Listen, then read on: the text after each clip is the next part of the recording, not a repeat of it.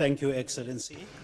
شكرا جزيلا معاليك والآن يشرفني ويسعدني أن أدعو زامبيا للتفضل بخطابها.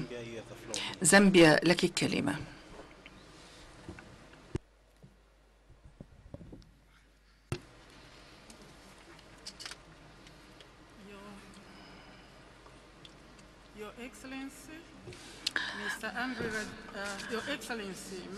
فخامة Fattah. الرئيس الرئيس عبد الفتاح السيسي رئيس جمهورية مصر العربية الدولة المضيفة للقمة ورئيس سلطات الكوميسا.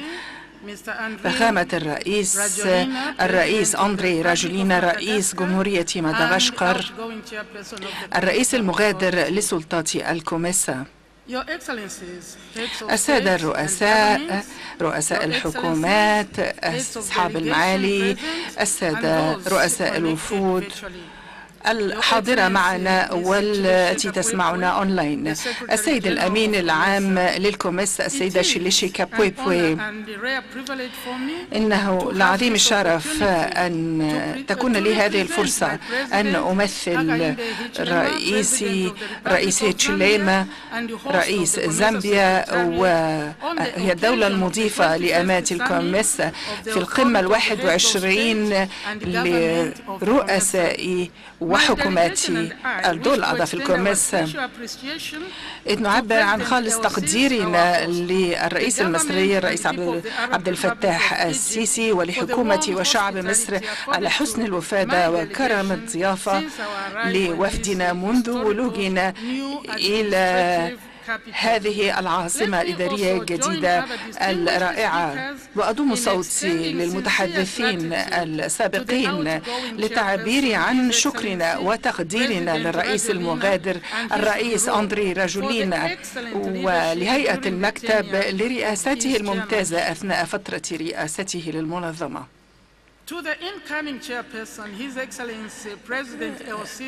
الرئيس عبد الفتاح السيسي نتقدم لكم بتهنئة الشعب الزامبي وأطيب التمنيات في رئاستكم القادمة لكوميسا ونؤكد لسيادتكم بالدعم الكامل لزامبيا أثناء فترة رئاستك القادمة لكوميسا ونحن على ثقة أنه تحت رئاسة جمهورية مصر العربية.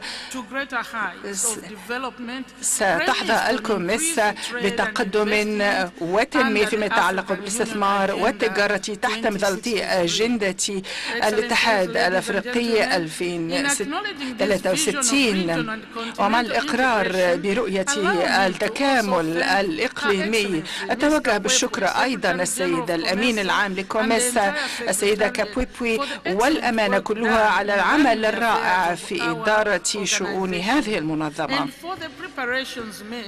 ونشكرهم على التجهيزات والإعداد الرائع لعقد هذه القمة رغم التحديات القابعة بسبب جائحة الكورونا.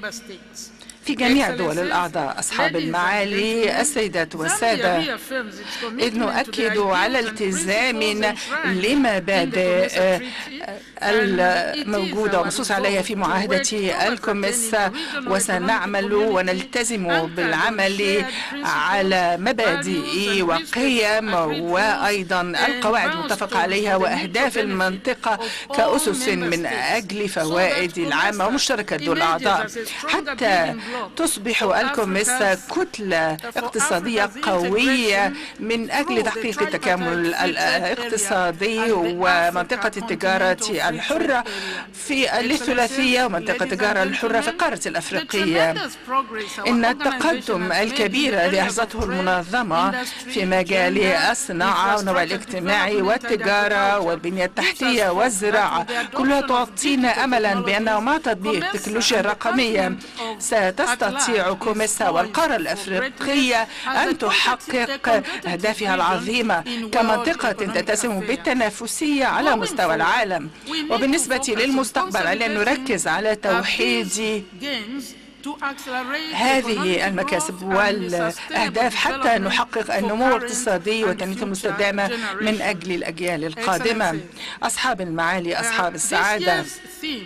إن المحور الرئيسي الخاص ببناء وتعزيز الصمود من خلال التكامل الاقتصادي هو في غاية الأهمية في ضوء الاستجابة لجائحة الكورونا والتحديات التي قامت بالتأثير على اقتصادياتنا في المنطقة.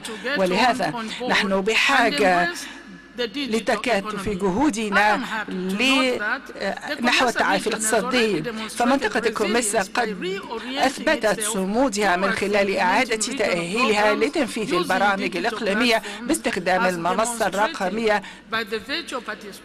كما أثبتنا من خلال المشاركة الرقمية والافتراضية للسادة الوفود في هذه القمة. أصحاب السعادة أصحاب المعالي إن تنفيذ السياسات والبرامج الإقليمية باستخدام المنصات الرقمية ستكون مسألة ضرورية لنضمن تحقيق طموحاتنا نحو التكامل الاقتصادي نحو التحول الرقمي. وفي هذه الدعوة نحن على ثقة أن جميع دول الأعضاء لديها الإرادة اللازمة حتى يكون لديها تكاملا قويا والنفي بطلبات شعوبنا في منطقة الكوميسا وفي الختام. لنوحد جهودنا لدعم برامجنا الإقليمية والوطنية ووضع السياسات والتدخلات اللازمة في هذا الإطار. إن نجاحنا المشترك سيكون الأساس لمستقبل أفضل لكم وأفريقيا والعالم. شكرا جزيلا.